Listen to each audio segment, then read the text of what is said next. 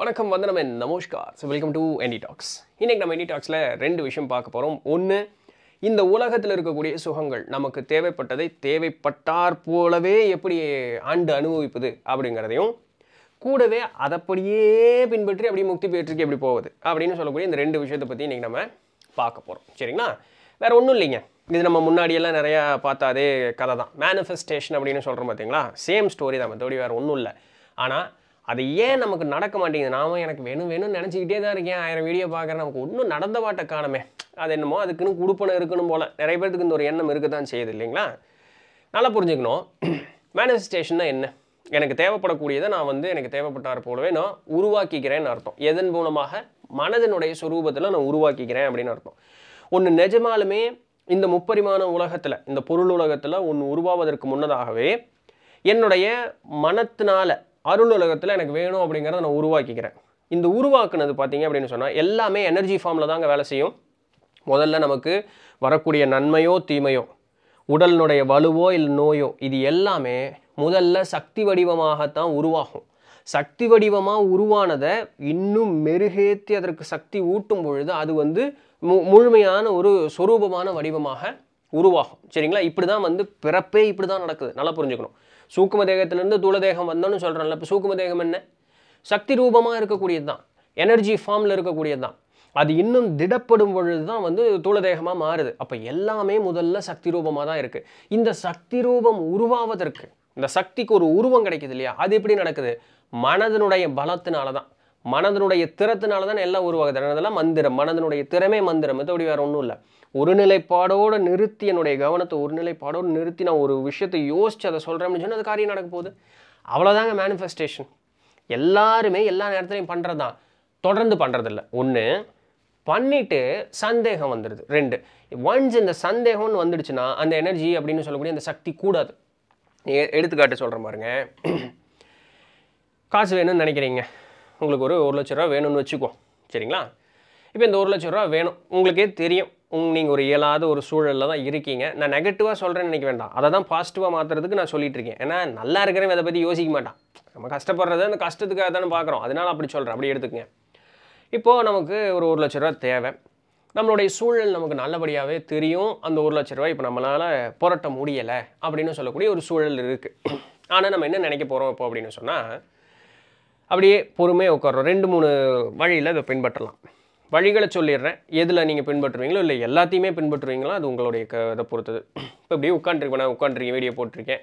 video முடிஞ்சதுக்கப்புறம் என்ன ஒன்று அப்படியே இதே பொறுமையாக அப்படி உட்காந்துருப்பேன் அப்படி உட்காண்ட்ருக்கும் போது என்ன பண்ணுவேன் என்னுடைய மனக்கண்ணில் அந்த ஒரு லட்ச ரூபா கட்டு அப்படியே அந்த கட்டை ஐநூறுரூவா தாள் இன்றைக்கி அதுதான் இருக்குது ரெண்டாயிரரூவா காணும்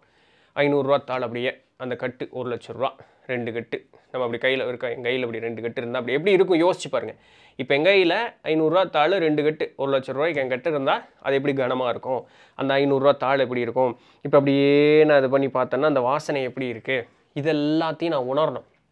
அதை அப்படியே பிக்சரைஸ் பண்ணுங்கள் அந்த பேங்க்லேருந்து வரும்பொழுது அந்த பேப்பர் போட்டிருப்பான் பச்சை கலர் ரப்பர் பேண்ட் ஒன்றில் இருக்குது சிவப்பு கலர் ரப்பர் பேண்டில் ஒன்று இருக்குது அப்படியே அந்த பணக்கட்டு வந்து அப்படியே நம்ம கையில் இருக்குது அந்த கணத்தை என்னால் உணர முடியுது அந்த பணத்தை அப்படி நான் பிடிச்சிட்ருக்கேன் இப்படியே பட பட பட வந்து பண்ணுறேன் அந்த பணம் அப்படி வரும்பொழுது அந்த பணம் எந்த இதில் இருக்குது ஐநூறுரூவா தாள் அப்படி திரும்பி இருக்கா ஐநூறுரூவா தாள் இப்படி என்னை பார்த்து தான் இருக்குது எல்லாமே ஓ சூப்பராக இருக்குது இப்படி நான் இப்படி விசிறேன் எனக்கு காற்று எனக்கு தெரியுது உணரணுங்க விளையாட்டுக்கு பேசிகிட்டு இருக்கல இது சீரியஸாக சொல்லிகிட்டு இருக்கேன் அப்போ அப்படியே எனக்கு வந்து அது எல்லாமே தெரியுது என் கையில் அந்த தாள் இருக்குது இப்போ இந்த ஐநூறுரூவா கட்டை வச்சு இப்போ நான் என்ன பண்ண போகிறேன் இதுதான் முக்கியம் இப்போ இந்த ஐநூறுரூவா தாளை வச்சு இந்த இந்த இந்த ரெண்டு கட்டு நோட்டை வச்சு நான் என்ன பண்ண போகிறேன் ஒரு லட்ச ரூபா கையில் இருக்குது இப்போ நான் என்ன பண்ண போகிறேன் எனக்கு ஏதாவது ஒரு தேவை இருக்குது அந் அந்த ஒரு அந்த பணத்துக்கு உங்களுக்கு வரைக்கும் தேவை இருக்குதுன்னு வச்சுக்குவோமே சரிங்களா இதை நான் வச்சு ஒரு பொருள் வாங்க போகிறேன் அப்படிங்கிறத நான் முடிவு பண்ணிக்கிறேன் இந்த ஒரு லட்ச ரூபாய் கையில் இருக்குது இந்த ஒரு லட்ச ரூபாய் வச்சு நான் ஒரு பொருள் வாங்க போகிறேன் அப்படின்னு சொல்லிட்டு இந்த ஒரு லட்ச ரூபாய் இப்போ நான் எடுத்துகிட்டு போகிறேன் நான் வந்து துணி வெள்ளமாக எடுத்துக்கிறேன் என் பாக்கெட்டில் வச்சுருக்கேன் என் பாக்கெட் வந்து கனமாக இருக்குது இதோட நான் வந்து எங்கே பொருள் வாங்கணுமோ எங்கே போகணுமோ அங்கே நான் போகிறேன் நீங்கள் கடன் அடைக்கணும்னு நினைங்க அப்போ நினச்சிக்கங்க அப்போ நான் அந்த இடத்துக்கு பொருள் வாங்க போகிறேன் பொருள் வாங்கினாலும் அந்த பொருளை வந்து இப்படி பார்க்குறேன் அந்த பொருளை எடுத்து தொட்டு பார்க்குறேன் எடுத்து இது பண்ணி பார்க்குறேன் அந்த பொருளுடைய வடிவம் அந்த கடையினுடைய இது எல்லாத்தையும் அப்படியே யோசிச்சுக்கிறேன் அந்த பொருள் ஆ சூப்பர்யா எல்லாம் நல்லா இருக்குது அப்படின்னு சொல்லி இது பண்ணி நான் வாங்குகிறேன் வாங்கினோன்னே அந்த ஒரு லட்ச ரூபாய் கொடுத்து நான் பில் போடுறேன் பில் போட்டு அந்த பொருளை வாங்கிட்டு வந்து அப்படியே நான் வந்து யூஸ் பண்ண போகிறேன் இது வரைக்கும் நான் அப்படியே கற்பனை பண்ணிவிட்டேன் இதை பண்ணினதுக்கப்புறம் அப்படியே பேசாமல் அமைதியாக உட்காரேன் இது முடிச்சிட்டோம் நான் அந்த ஒரு லட்ச ரூபாய் எதுக்கு வாங்க போகிறேன் அப்படிங்கிற அந்த ஒரு நினப்பு எனக்கு இருக்கணும் இந்த ஒரு லட்ச ரூபாய் வச்சு அந்த நினப்பு வந்து முடிஞ்சிருச்சு முடிஞ்சுட்டு நான் அதை எடுத்துகிட்டு வீட்டுக்கும் வந்துட்டேன் சரிங்களா இப்போ அது அப்படியே அந்த அந்த பொருளோட நம்ம அப்படி இருக்கோம் அந்த பொருளை நீங்கள் பயன்படுத்துகிறேன் அப்படியே சூப்பராக இருக்குது எனக்கு அந்த பொருளெல்லாம் பயன்படுத்தி பார்க்கும்போது அற்புதமாக இருக்குது அப்படின்னு நான் நினைக்கிறேன் சரிங்களா இது அப்படியே நினச்சிட்டு பிறகு என்ன பண்ணோம் அப்படியே இருக்கணும் டக்குன்னு அப்படி நிறுத்துங்க பெசாமல் இருக்கணும் அப்படியே நீங்கள் அமைதியாக உட்காருங்க ஆடாமல் அசையாமல் உடல் அசையாது மனம் அசையாது பேசாமல் அப்படியே அமைதியாக உட்காருங்க எந்த விதமான சிந்தனை இல்லாமல் அப்படியே அமைதியாக உட்காருங்க உங்களை அறியாத அப்படியே ஒரு ஆனந்த ஒரு சூழலுக்கு போகும் கொஞ்சம் நேரத்தில் நீங்களே ரிட்டன் ஆயிடுவீங்க எந்திரிச்சு போய் இங்கே பார்க்க ஆரம்பிச்சிருங்க நீங்கள் வேறு எதுவுமே பண்ண வேண்டாம் எந்திரிச்சு போய் இங்கே பொழப்பு பார்க்க ஆரம்பிச்சிருங்க இது ஒரு வழி ரெண்டாவது என்ன அப்படின்னு சொல்லி பார்த்தோம்னா இப்படியே நம்ம யோசிக்கும் பொழுது மேலே அப்படியே மூச்சு உள்ளே இழுப்போம் அப்படியே கீழே விழுவோம் இது இந்த யோசனைகளும் மூச்சும் கூர்வையாக வர்ற மாதிரி இப்படி இருக்கும் அப்போ மூச்சுக்கு இந்த இடத்துல கவனம் கொடுத்துக்கிறோம் நம்மளுடைய அந்த கற்பனையோட மூச்சுக்கும் இந்த இடத்துல கவனம் கொடுக்குறோம் அப்போ உங்களுக்கு வேணுங்கிற மாதிரி எல்லாம் இப்போ கையில் காசு இருக்குது காசு எடுத்துகிட்டா நான் போகிறேன் பொருள் வாங்குறேன் பொருள் வாங்கிட்டு வீட்டுக்கு வரேங்கிற வரைக்கும் நான் மூச்சு நார்மலாக மேலே கீழே மேலே கீழே மூச்சு விட்டுக்கிட்டே இருக்கேன் இப்போ விட்டுட்டு விழுங்கும்போது கரெக்டாக அந்த எல்லாம் காரியம் எப்படி முடிஞ்சோன்னு மூச்சு அப்படி உங்களால் அப்படி எவ்வளவு முடியுதோ ஹார்ட் அட்டாக்காரங்களாம் கொஞ்சம் பார்த்து இழுங்க அப்புறம் என்னை குறை சொல்லிடாதீங்க அப்புறம் அப்படி நல்லா அப்படி மூச்சு அப்படி உள்ளே இழுத்துட்டு அப்படி மூச்சு அடக்கி உள்ளே நிறுத்துகிறோம் அப்படியே அந்த அந்த அருள் வெளிக்குள்ள அப்படியே ஆனந்தமான ஒரு சூழ்நிலைக்குள்ளே போகிறோம் எதையும் யோசிக்கக்கூடாது அப்படி பேசாமல் அமைதியாக இருக்கீங்க மூச்சு எவ்வளோ நேரம் தக்க வைக்க முடியுமோ தக்க வைக்கிறீங்க அப்படியே மூச்சு அப்படியே கீழே விட்டுட்டு எந்திரிச்சு போய் இங்கே பொழப்பாக்கு போயிருங்க இது ரெண்டாவது வழி மூணாவது வழி குளிக்கும்போது இந்த தண்ணி எடுத்து நம்ம மொத மக்கு ஊற்ற போகிறோம் பாருங்கள் அதுலேருந்து ஆரம்பிக்கணும் இந்த கற்பனைகள் அப்படியே வரணும் வேறு எந்த கவனச்சிதறலும் இருக்கக்கூடாது கற்பனைகள் அப்படியே வரணும் இல்லைங்க நான் அதெல்லாம் பண்ணுறக்கு எனக்கு கஷ்டம் புத்தி அங்கே இங்கேயும் ஊர் சுற்றிக்கிட்டே இருக்குது அப்படின்னு சொன்னால் சரி குளிச்சு முடிங்க கடைசி மக்கு எடுத்து ஊற்றுறீங்க பாருங்க அந்த கடைசி மக்கு ஊற்றும் பொழுது அது அந்த உங்களுக்கு என்ன வேணுமோ அதை கற்பனை பண்ணிவிட்டு அந்த கடைசி மக்கு உங்கள் மேலே ஊற்றிட்டு நீங்கள் வந்துடணும் இவ்வளோ தான் இது மூணில் நீங்கள் எதை பண்ணிங்கனாலும் சரி மூணையும் பண்ணினீங்கனாலும் சரி இப்போ எல்லாத்தையுமே அப்படியே அருள் உலகத்தில் கற்பனையில் வந்து அப்படியே அந்த எங்கிட்ட அந்த பொருள் கிடச்சிருச்சு நான் அதை வச்சே இருக்கேன் வாழ்கிறேன் அப்படிங்கிற அந்த இதுலேயே இருக்கணும் கிடைக்க போகுதெல்லாம் கிடையாது கிடச்சிருச்சு இப்போ ஒரு சக்தி அந்த இடத்துல உருவாயிடுச்சு இந்த சக்தி தானாகவே உருப்பெற்று நம்மிடம் வந்து சேரும் இதில் மாற்றுக்கருத்தே கிடையாது எப்போ சேராது அப்படின்னு சொன்னால் உருவாக்கின நாம சந்தேகப்பட்டோன்னா அவுட்டு அந்த இடத்துல சக்தி செதஞ்சு போயிடும் அப்போ நீங்கள் சந்தேகம் பண்ணும் இது எப்போ கிடைக்கும் எப்படி கிடைக்கும் நம்மெல்லாம் நினச்சா கிடைக்குமா எங்கே தான் போய் என்ன வந்தாலும் அவுட்டு நீங்கள் என்ன கிடைக்கும்னு நினைக்கல ஆல்ரெடி கிடச்சிருச்சுன்னு நினச்சிருக்கீங்க கிடச்சிருச்சுன்னு நினச்சது மேலே உங்களுக்கு எப்படி சந்தேகம் வரும் லாஜிக்கலாக வராது இல்லையா என் கையில் பொருள் இருக்குங்க அந்த பொருளே இல்லைன்னு நான் எப்படி சந்தேகப்படுவேன் அதுதான் கற்பனையில் ஒரு ஒரு ஒரு ஒரு கம்ப்ளீட்டாக ஒரு ஸ்ட்ரக்சர் உருவாக்கிட்டோமே உருவாக்குனதுக்கப்புறம் அதுக்கப்புறம் எப்படி சந்தேகம் வரும் வராது வரக்கூடாது இல்லையா இப்போ இதற்கு உண்டான கால அளவு எவ்வளோங்கன்னா அர்ஜென்ட்டாக இருக்கேன் நீங்கள் அர்ஜென்ட்டாக இருக்கீங்கிற அளவுக்கு என்ன பண்ணுறது உங்களுடைய மனதனுடைய திறமும் அந்த சந்தேகப்படாத ஒரு குணமும் வலுவாக இருந்ததுன்னா சீக்கிரம் நடக்கும் அப்படி இல்லைன்னா கோழி குஞ்சு பொறிக்கிறதுக்கு இருபத்தொரு நாள் ஆகுது இல்லை ஒரு ஒரு ஒரு யானைக்கு ரெண்டு வருஷம் ஆகுது குட்டி ஓடுறதுக்கு மனுஷ குட்டி ஓடுறதுக்கு பத்து பத்து மாதம் ஆகுது அப்போது அது அதுக்குன்னு ஒரு கால அளவு இருக்குதுங்க அது இயற்கை பார்த்துக்கும் அது இந்த பிரபஞ்சம் பார்த்துக்கும் அது கடவுள் பார்த்துக்கும் அது இந்த அருள் சக்தி பார்த்துக்கும் உங்களுடைய வேலை என்ன எனக்கு இது வேணும் அந்த வேணுங்கிறத அப்படியே ஒரு கட்டமைப்பு பண்ணிவிட்டு எந்திரிச்சு போய் உங்கள் பார்க்க போயிருங்க தானாக அது நடந்தே தீரும் வேண்டான்னு சொன்னாலும் அது மாறாது ஆனால் சந்தேகம் மட்டும் பற்றக்கூடாது இதெல்லாம் எங்கேருந்து போய் அந்த அந்த நெகட்டிவ் தாட்டு ஒரே இம்மி அளவு கூட உங்களுக்கு வந்துடக்கூடாது நடக்கும் அப்படிங்கிறத நீங்கள் நம்பி இருக்கிறோம் இது ஒன்று எப்படி நம்மளை அணுகும்னு பார்க்கும்பொழுது சும்மா அப்படியே ரேண்டமாலாம் வராது ஒரு சிலருக்கு லக்குன்னு மூலமாக வரும் அதுவும் ஆக்சுவலாக லக்கு கிடையாது அந்த வழியை தான் உங்களுக்கு வரணுங்கிறது இயற்கையினுடைய ஒரு நியதி இப்போது இதுக்கு ஒரு எடுத்துக்காட்டு சொல்லி சொல்லும்போது சொல்கிறேன் இப்போ நெட்டில் போயிட்டு நெவில் காடாட் அப்படின்னு நடிச்சிங்கன்னா ஒரு ஆயிரத்தி தொள்ளாயிரத்தி எழுபத்தஞ்சிலேயே இயற்கை எழுதிட்டார் ஆனால் அவர் வாழ்ந்த காலத்தில் இந்த மாதிரி நிறைய விஷயங்களை மக்களுக்கு சொல்லி கொடுத்துருக்காரு அப்போது ஒரு பெண்மணி வந்து அவங்ககிட்ட அவர்கிட்ட வந்து கேட்குறாங்க எனக்கு ஒரு பதினேழு டாலர் மதிப்புள்ள காஸ்ட்லியான ஒரு தொப்பி வேணும் அப்படின்னு நான் விருப்பப்பட்டேன் அப்புறம் நான் விருப்பப்பட்டு விட்டுட்டேன் எனக்கு அவ்வளோ வசதி வாய்ப்பு இல்லை நான் அப்படி விருப்பப்பட்டு விட்டேன் ஒரு ஒரு வாரம் கழித்து என்னுடைய தோழி வந்து பார்த்தீங்க அப்படின்னு சொன்னால் அந்த பதினேழு டாலர்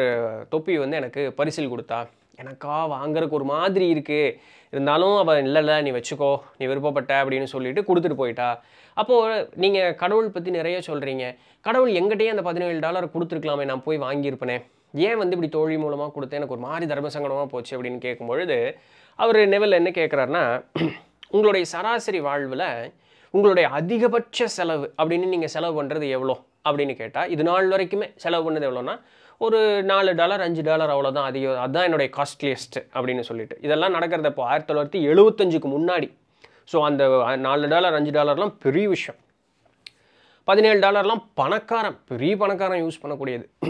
அப்போது நாலு டாலர் அஞ்சு டாலர் இப்போ இந்த பதினேழு ரூபா உங்களுக்கு கீழே இருந்து கிடைக்கலாம் யாராவது கொண்டு வந்து கொடுத்துருக்கலாம் எல்லாமே ஓகே இந்த பதினேழு டாலர் உங்கள்கிட்ட கொடுத்தா நீங்கள் என்ன பண்ணுவீங்க அப்படின்னு கேட்குறாரு இந்த பதினேழு டாலர் உங்கள்கிட்ட கொடுத்தா உங்களுடைய கவனம் நீ உங்களுக்கு தொப்பி வாங்குறதுக்கு போகுமா இல்லை வேற எங்காவது போகுமா உங்களுடைய நான் வந்து அவங்க என்ன சொல்கிறாங்க நான் வீட்டுக்கு உண்டான மளிகை சாமான் வாங்கியிருப்பேன் என்னுடைய வீட்டு வாடகையை பற்றி கட்டுறதுக்கு தான் நான் யோசிச்சிருப்பேன் கரெக்டு இப்போ இதே இன்னொரு ஆயிரம் டாலர் கையில் கீழே இருந்து கிடைக்குது அப்படின்னு சொன்னால் என்ன பண்ணியிருப்பீங்க அப்படின்னு கேட்டால் அதுவும் என்னுடைய சேஃப்டிக்காக தான் நான் கொண்டு போய் வைக்கிறதுக்கு பார்த்துருப்பேன் ஏதாவது ஒரு இன்வெஸ்ட்மெண்ட்டுக்கு அப்படி இப்படி தான் யோசிச்சிருப்பேனே தவிர அப்போவும் உங்களுக்கு தொப்பி அப்படிங்கிற ஞாபகம் வரல அப்போ உங்களுக்கு வேணும்னு விருப்பப்பட்டீங்க அந்த காசை உங்கள்கிட்ட கொடுத்தா நீங்கள் அதுக்கு செலவு பண்ண மாட்டீங்கிறது இயற்கைக்கு நல்லா தெரியும் அதனால் விருப்பப்பட்டதை ஏதோ ஒரு வழியில் எப்படி கொடுத்தா நீங்கள் வாங்குவீங்கிறோடைய வழியில் உங்களுடைய தோழி மூலமாக அது உங்களுக்கு கொடுத்துருச்சு அவ்வளோதான் விருப்பப்பட்டது தானே கிடச்சிது பெசம் வாங்கிட்டு சந்தோஷமாக இருக்க வேண்டியதானே அப்படின்ட்டார் அப்போது இயற்கை எந்த ரூபத்தில் நம்மக்கிட்ட கொண்டு வந்து சேர்த்தணுமோ அதை அந்த ரூபத்தில் கொண்டு வந்து சேர்த்திடும் அதை நம்ம அக்செப்ட் பண்ணிக்கிறதுக்கு ரெடியாக இருக்கணும் நமக்கு வந்து அன்பு வேணும் காதல் வேணும் நமக்கு வந்து யாராவது கூட அரவணைப்புக்கு ஆள் இருந்தால் நல்லா இருக்குமே அப்படின்லாம் யோசிப்போம் கரெக்டாக ஒரு ஃபோன் கால் வரும் இவன் ஒருத்தன் கூப்பிட்றான் அப்போ உங்களுக்கு அன்பு பாசம் அரவணைப்புன்னு கேட்ட அந்த ஒரு வாயே இவன் ஒருத்தன் கூப்பிட்றான்னு வெறுப்பு உமிழும் பொழுது உங்களுக்கு நீங்களே வந்து எதிராக மாறிடுறீங்க புரியுதா உங்களோட எண்ணத்திற்கு நீங்களே ஒரு எதிரியாக மாறிடுறீங்க எப்படி உங்களுக்கு அன்பு பாசம் வரும் அந்த கூப்பிட்றவன் பரிவாக கூப்பிடுவான் நம்மளுடைய அக்கறையாக கூப்பிடுவான் நமக்கு அவனை வந்து மேலே ஏதோ ஒரு வெறுப்பு இருக்கும் அப்போ அந்த வெறுப்பு உமிழும் பொழுது நம்ம கேட்டதற்கு நாமே மாறாக நடக்கிறோம் ஆனால் இயற்கை என்ன பண்ணுது அன்பை நம்மகிட்ட கொடுக்குது இதை நம்ம வாங்குறதுக்கு ரெடியாக இருக்கணும் இதிலிருந்து நமக்கு வந்து எல்லா மாறுதலும் கொஞ்சம் கொஞ்சமாக கொஞ்சம் கொஞ்சமாக வரணும் அப்போ மன்னிப்பு அப்படிங்கிற நம்மக்கிட்ட வரணும் அந்த நெகட்டிவ் இமோஷன் சொல்லக்கூடிய வெறுப்பு கோபம் அதுக்கப்புறம் சோகம் என்னென்னமோ வச்சுக்கோங்க இந்த எதிர்மறையான எண்ணங்கள் இது எல்லாமே நம்மக்கிட்ட இருந்து விலகணும் நம்பிக்கை அப்படிங்கிறது இருக்கணும் ஏன்னா இது கண்ணுக்கு தெரியாத விஷயம் உணர முடியாத ஒரு விஷயம் அது இருக்குங்கிற நம்பிக்கையில் அதுக்குள்ளே போய் குதிக்கணும்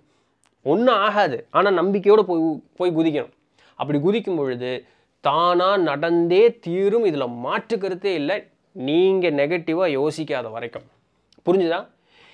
இது அப்படி இதெல்லாமே நம்மளுடைய பொருளுலகத்தில் நீங்கள் நினச்சதை நினச்சபடியே செஞ்சு சாதிச்சுக்கிறதுக்கு உண்டான வழிகள்ங்க நீங்கள் இந்த நாட்டினுடைய ஜனாதிபதி ஆகணும்னு விருப்பப்பட்டீங்கனாலும் நடக்குங்க அந்தளவுக்கு மனசை வந்து திறப்படுத்திக்கணும் அந்த சினாரியோவை அப்படியே நீங்கள் கட்டமைக்கணும் அப்படியே முழுக்க அதை அப்படியே கட்டமைச்சு நிறுத்தும் பொழுது அதற்குண்டான வேலை அப்படிங்கிறது அதை செய்யும் இதற்கு தான் தியானம் தவம் அப்படிங்கிறது ரொம்ப ரொம்ப முக்கியம் சரிங்களா அப்போலாம் நான் ஒரு மூணு வழி சொன்னேன்ல அது நீங்கள் தியானத்தின் ஊடாக இருந்தும் கூட செய்யலாம் நம்ம பிகமிங் சூப்பர் நேச்சுரல் இருக்கும்ல அந்த தியானத்தில் உட்கார்றதுக்கு முன்னாடி உங்களுக்கு என்ன வேணுமோ அதை அப்படியே மனசில் நினச்சிட்டு அப்படி தியானத்தில் உட்காரணும் ரைட் இன்னைக்கு காலையில் கூட டெலிகிராமில் ஒருத்தங்க கேட்டிருந்தாங்க இருக்கட்டும் அடுத்தவங்களுக்கு உடல்நிலை சரியாகணும் அப்படின்னு சொன்னாலுமே அவர்கள் வந்து நல்ல திடகாத்திரமாக அந்த நோய் நொடியெல்லாம் குணமாகி அவர்கள் திடகாத்திரமாக இருக்காங்க உங்களுடைய பிள்ளைகள் நல்லா இருக்கணும் அவங்க எப்படி நல்லா இருக்காங்க அப்படின்னு நினச்சிட்டு நீங்கள் உட்காரணும் இப்போ இதில் கேட்கறதுலாம் கரெக்டாக இது இருக்கணும் எனக்கு வந்து ஒரு ஒரு லட்ச ரூபா சம்பளம் இருக்கக்கூடிய ஒரு வேலை எனக்கு கிடச்சா சூப்பராக இருக்கும் இப்படி நான் வேலைக்கு போகிறேன் அப்படி இருக்கேன் இப்படி இருக்கேன் எல்லாம் ஓகே வேலையும் கிடச்சிரும் ஆனால் ஸ்ட்ரெஸ்ஸு போட்டு கொன்றோம் நீங்கள் ஸ்ட்ரெஸ் ஃப்ரீ ஜாப் வேணும்னு கேட்கல ஒரு லட்ச ரூபா வேலை வேணும் அந்த ஒரு லட்ச ரூபாய் வாங்கிட்டு எப்படி இருக்குன்னு தான் யோசிச்சிங்க ஆனால் ஸ்ட்ரெஸ் ஃப்ரீ ஜாப் வேணும்னு கேட்கல அப்போ புரியுதா கேட்குற கே ஒரு ஒரு விஷயத்தில் தெளிவு அப்படிங்கிறது இருக்கணும் அப்போ நீங்கள் முதல்ல ஒரு யோசிச்சுக்கங்க இது இது என்னென்ன என்னென்னு யோசிச்சுங்க யோசிச்சதுக்கப்புறம் அந்த சிந்தனைக்குள்ளே போங்க கம்ப்ளீட்டாக ரைட் இப்போது இதெல்லாம் நம்மளுடைய பொருள் உலக சம்பந்தமான விஷயங்கள் இந்த பொருள் உலக சம்பந்தமான விஷயங்கள்லேருந்து அப்படியே அருளுலகத்துக்கு டைவெர்ட் ஆகுங்க பார்க்கலாம் இறைனா நமக்கு என்னென்னு தெரியுமா தெரியாது இறை யாராவது பார்த்துருக்காங்களா பார்த்ததில்லை இறை யாராவது உணர்ந்திருக்காங்களா உணர்ந்ததில்லை ஆனால் இறை இருக்கா இருக்குது எப்படி சொல்கிற பெரியவங்க சொன்னாங்களே அதற்குண்டான வழியை சொன்னாங்களே அந்த வழியை கொஞ்சம் கொஞ்சம் சந்தேகமே இருந்தாலும் கொஞ்சம் கொஞ்சம் பயிற்சி பண்ணும்போது எங்கிட்டையும் ஒரு சில மாறுதல் தெரியுது அப்போ பெரியவங்க சொன்னது உண்மை தான் போல் இருக்குன்னு தான் இருக்குல்ல இந்த சந்தேகத்தை முதல்ல நீக்கணும் பெரியவங்க என்ன சொல்கிறாங்க இறை இருக்குது ஆனால் நீ அது மேலே முதல்ல நம்பணும் எப்படி அர்ப்பணிப்போடு இருக்கணுங்கிறாங்க ஆத்மார்த்தமாக இருக்கணும் அது அது சரண்டர் கம்ப்ளீட் சரண்டர் கம்ப்ளீட் சரண்டர்னு என்ன அது இருக்கா இல்லைன்னே தெரியல ஆனால் நான் மேனிஃபெஸ்ட் பண்ணுறேன் இறை எமக்கு அருள் செய்கிறது அதில் தான் நான் மேனிஃபெஸ்ட் பண்ணுறேன் கம்ப்ளீட்டாக பெரியவங்க பாரு நாயிற்கடையாய் கிடந்த அடியேற்கு தாயிற் சிறந்த தயாவான தத்துவம் நான் ஒன்றுத்துக்குமே ஆகாதவங்க நான் தன்னை தாழ்த்திக்கிறாங்க ஆனால் தாழ்த்திக்கிட்டாலும் என்ன சொல்கிறாங்க அந்த தாழ்த்துதல் ஏன் சொல்கிறாங்கன்னா நம்மளுடைய அந்த ஆணவ மலம் அப்படிங்கிறது அழிவதற்காக சொல்கிறது நான் ஒன்றுத்துக்குமே ஆகாதவன் அப்படின்னு சொல்லக்கூடிய அந்த ஆணவ மலம் நம்மளிலேருந்து அழிஞ்சு போயிடும் அப்படி சொன்னாலுமே அவங்க என்ன சொல்கிறாங்க இப்படி இருக்கக்கூடிய எமக்கும் உன்னுடைய கருணை தந்த அருள்னாயே தாயிற் சிறந்த தயாவான தத்துவனேன் அவங்க இன்னும் அருள் கிடைக்கல அருள் கொடு அருள் அப்படி சொல்லலை கொடுத்துட்டையா நீயே அப்படின்ட்டாங்க ஸோ இந்த இடத்துல என்ன நடக்குது எனக்கு நீ தந்துட்டேன் உன்னுடைய அருள் எனக்கு பூரணமாக கிடைக்குது நான் நல்லா இருக்கேன் நான் நல்லா இருக்கேன் நல்லா இருக்கேன் உண்டு உண்டு உண்டு இறை உண்டு இறை உண்டு அருள் உண்டு அருளோடு நான் நல்லா இருக்கேன் இதை சொல்ல சொல்ல சொல்ல சொல்ல தாங்க நீங்கள் நல்லா இருக்க ஆரம்பிப்பீங்க ஆனால் அதில் நம்பணும் சந்தேகப்படக்கூடாது இந்த நம்ம ஒன்று ஒரு வழியில் போயிட்டுருப்போம் இன்னொருத்தருக்கு ஒருக்க ஒரு கௌசிக்கு வருவான் இதை விட இது பெஸ்ட்டுங்க அப்படின்னா உடனே டேக் டைவர்ஷன் எடுத்துட்டிங்கன்னா அவுட்டு ஸோ அப்படி இருக்கக்கூடாது நீங்கள் இறைக்கு என்ன ரூபம் வேணாலும் கொடுத்துக்குங்க இறை என்ன பேர் வேணாலும் வச்சுக்கோங்க சரிங்களா ஆனால் அது இருக்குது அது எனக்கு அருள் செய்துங்கிறத நம்பி அருள் செய்து செய்கிட்டு செய்துகிட்டு இருக்கு செய்யுங்கிறதையும் நீங்கள் நம்பணும் நான் நல்லா தான் இருக்கேன் எனக்கு வேணுங்கிற சாமி எனக்கு இது வேணும் கொஞ்சம் பண்ணி கூட அப்படின்னு சொல்லிட்டு அது பண்ணு இறை நமக்கு அதை செய்து கொடுத்ததாகவே நீங்கள் முழுசும் நம்பணும் இது என்ன ஆகும் அருள் சக்தியாக மாறி அது மேனிஃபெஸ்ட் ஆக ஆரம்பிக்கும் இதுதான் மேனிஃபெஸ்டேஷன் அப்போது பொருளுலகத்திற்கும் சரி அருளுலகத்திற்கும் சரி இந்த மேனிஃபெஸ்டேஷன் சரண்டர் அப்படிங்கிறது ரொம்ப முக்கியம் நம்பிக்கை அப்படிங்கிறது முக்கியம் இதை எனக்கு அந்த அருள் முழுக்க கிடைத்ததாகவும் நான் அப்படியே நிம்மதியாக இருக்கிறதாகவும் நான் வந்து முழுக்க முழுக்க என்னுடைய நினப்பில் வந்து அது கூடணும் கூடுனா தான் எல்லாமே நடக்கும் சரிங்களா இப்போ நீங்கள் பொருளுலக சுகத்துக்கானாலும் சரி அருளுலக சுகத்துக்கானாலும் ரெண்டுக்குமே அதை யூஸ் பண்ணிக்கலாம் எதுக்கு நீங்கள் எது எப்படி இப்படி எடுத்து யூஸ் பண்ணுவீங்கிறது உங்களுடைய தனிப்பட்ட விருப்பத்தை பொறுத்தது முயற்சி செஞ்சு பாருங்கள் சந்தேகமே வேண்டாம் முதல்ல முயற்சி இது நடக்குமா அப்படின்னு கமெண்ட் பண்ணுறதுல அர்த்தமே இல்லை இது நடக்குமான்னு இல்லை நீங்களே யோசிச்சுக்கலாம் அர்த்தம் செஞ்சு பாருங்கள் முதல்ல அது செய்ய செய்ய தான் நாமே என்ன தவறு பண்ணுறோங்கிறது இயற்கை நமக்கு சுட்டி கட்டே இப்படி பண்ணாதடா இப்படி பண்ணாத அப்போ நம்ம ரிஃபைன் ஆகும் அப்படி கம்ப்ளீட்டாக அந்த ரிஃபைன் ஆகி ஒன்று பெட்டராக யோசிச்சிட்டோம்னா கண்டிப்பாக அது நடக்கும் அந்த ரிஃபைன்மெண்ட்டுக்கு நம்மளுடைய புரிதல் நம்மளுடைய புரிதலை பொறுத்தது அது அவங்க அவங்களுடைய திறத்தை பொறுத்தது பட் கான்செப்ட் இவ்வளோதான் ஸோ இதுக்கு மேலே குழப்பறதுக்கெல்லாம் இதில் ஒன்றுமே கிடையாது சரிங்களா ஸோ அதனால் ரொம்ப குழந்தத்தனமாக அப்படியே யோசிச்சுட்டு ஒரு சில கேள்விகள்லாம் கேட்கணும்னு அவசியம் கிடையாது நான் ரொம்ப தெளிவாக சொல்லிட்டேன் எப்படி நீங்கள் உங்களுக்கு எப்படி தேவைப்படணும் தேவைப்பட்டதை எப்படி அழகாக யோசிக்கணும் அப்படின்னு சொல்லி பொருள் உலகமோ அருள் உலகமோ பூரணமான அந்த ஒரு யோசனையிலே சிந்தனையில் இருந்தால் அந்த அருள் நம்மை வந்து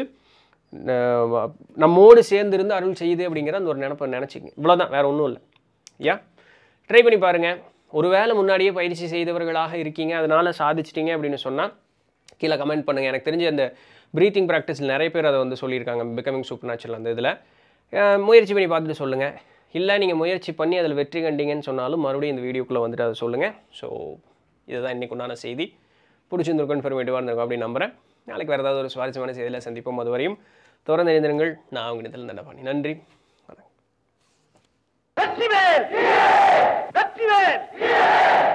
வணக்கம்